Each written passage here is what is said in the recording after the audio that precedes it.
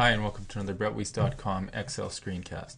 In this tutorial I'm going to be introducing the concept of declaring variables in your macros. Variables are a named storage location within your computer's memory. So we can use variables to take that next step beyond the macro recorder and into a bit of true programming practice. If you're watching this video on YouTube and you'd like to see the complete code from this workbook, in the info box below, click the link head over to brettweese.com and there you'll see a link to download the workbook for this tutorial. So to introduce the concept of variables, we're just going to create a real simple macro. What I've done is I've created a dynamic range under the data heading and I want to create a macro that's going to tell me how many data points are in that range and the sum of all the data points in that range. Here, over here, you'll see a link to a website. That's this is ozgrid.com. If you want to check out variable data type definitions, I recommend this page. It's got all of them listed and described. You can see what kind of data types that you can use in Excel and what are the most common and best to use. So let's head over to the Visual Basic Editor and start writing our code. We're going to call this sub sum range. And our description is to count the data points and sum the data points in range, our dynamic range, which is called data, in worksheet 1. So we have a dynamic range named data. We want to count the data points and then sum them. Usually we declare variables at the start of a macro just to make it easier to read and easier to understand. So the way to declare a variable in Excel VBA is with the dim keyword, which is short for dimension. And the, the first variable we want to de declare is going to be called RNG and we're going to declare it as an object in VBA. So we can declare variables in VBA as data types, objects, and a couple other things that are a bit out of the scope of this lesson. So once we type the as keyword, Excel will bring up an automatic list of all the different variable types that we can use. For this variable, we want it to be a range. So we want to declare this variable as a range, which is an object in Excel. The next variable we want to declare is another range named CLL, and we also wanted to claim a worksheet variable. So we wanted to declare WS as worksheet. Next, we want to declare a data type variable named data sum. This is going to be the sum of all the numbers in our range, and we'll declare that as an integer data type. We'll also declare a data points variable, also as integer, and this is going to be the number of data points in our range. Finally, we're going to declare an MSG variable as a string. We're going to use this variable to create the string we want to put into the message box to tell us what the sum of the the range was and how many data points there were. And also we're going to we're going to declare a constant. So a constant is just what it sounds like. It's going to stay the same. It's going to be a, a value that does not change within the macro. So to declare a constant, it's const, name of the variable, in this case it's going to be the title, and then we're going to declare it a string. And then we're going to set the variable equal to, and this is just going to go in, go in range A1. This is going to be the title of our worksheet. It's going to be brettweese.com forward slash Excel screencast. So there's our constant. So we've declared our variables. Now we're going to we're going to quickly write our code. So we're going to set the object variables. And now to assign a value to an object variable, we have to use the set keyword. So we're going to set, and then the first variable we're going to set is our worksheet variable. So we're going to set WS equal to this workbook dot worksheets and then sheet 1.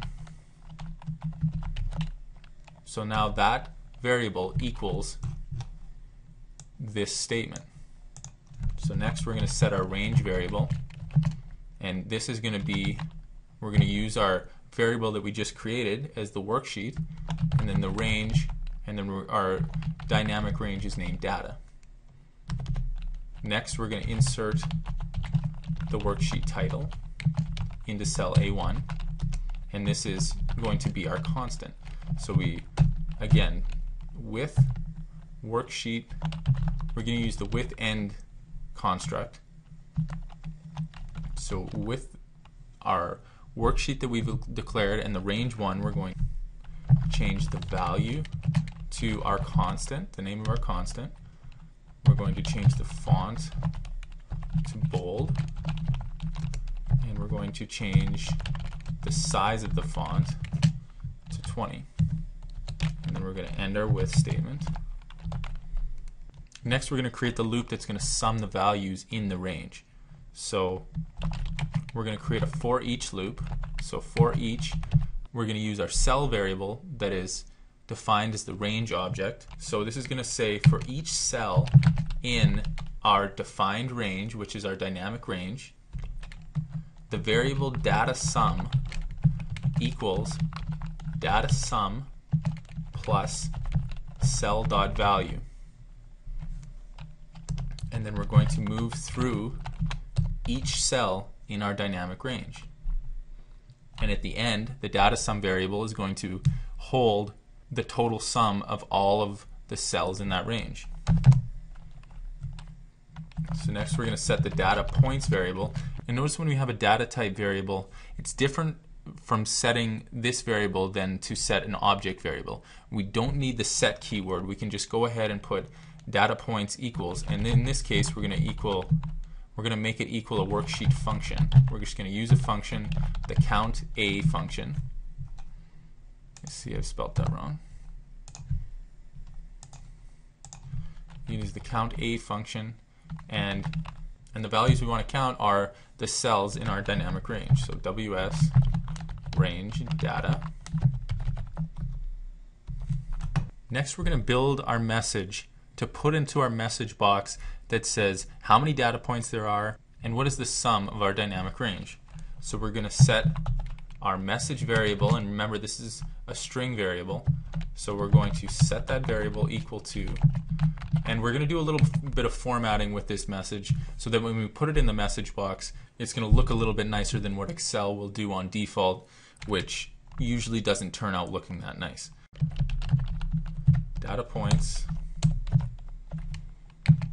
we're going to put a VB tab that's going to tab that's just going to tab over in our message box and then we want to put the variable data points. The variable data points does not go in quote quotations. It has to be on its own so Excel can pick up the value because we don't want to put the word data points into our message box. We want the value the data points variable is holding. So we're going to continue to build our message.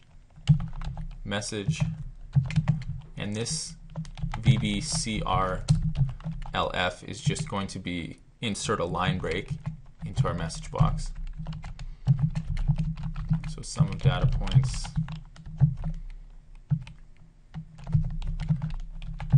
We're going to put another tab and then, oh, I forgot a, forgot an and symbol here. So we'll continue, and then finally it's our message so far and another tab, again just for formatting, and then our data sum variable. Finally, we are going to display the message box and the prompt of the message box, what we want the message box, the body of the message box to say is our string variable MSG. And then we can give it, we can give the header title. Just put sum of data range. And there we have our macro. Let's go back and take it for a test drive. What we should have happen is when we push this sum data range button, which I've already placed on the worksheet and assigned to our sum range macro, is we should get a message box that has the count of the data points in this dynamic range and also sums the data points. So we have 1, 2, 8, and 7. So should we, we should get a sum of 18, and we should have our title inserted in cell A1. So I'm going to push the macro button. We're going to run it. We can see the message box comes up. It's nicely formatted. We have the number of data points, and we have the sum of the data points. If we add 2 to here, click it again, now we have number of data points is 5 and sum of data points is 20 which is just what we want. It looks like it's working properly. If we go back to the VBA editor I just want to show you one more thing. When we start running this macro you'll notice after I run past my variable declaration statements, we can see that Excel has initialized these variables. And what I mean by initialize these variables is Excel initializes each variable based on the data type or the object we assign to it and set it to its default value. So an object an object variable in Excel, its default value is equal to nothing. So all of our object variables are equal to nothing when they first initialize because we haven't set them to anything. Our data variables, if it's a numeric variable, it gets set to 0 as default, and again, 0 is default, and as a string, it gets set to an empty set. And our constant, you'll know, has already been assigned the value that we wanted to assign it. So that's why when we were looping here and we started with our data sum plus the cell value, we knew that when we start out, our data, our data sum variable is going to equal zero, so we can build upon it and create the sum of the range.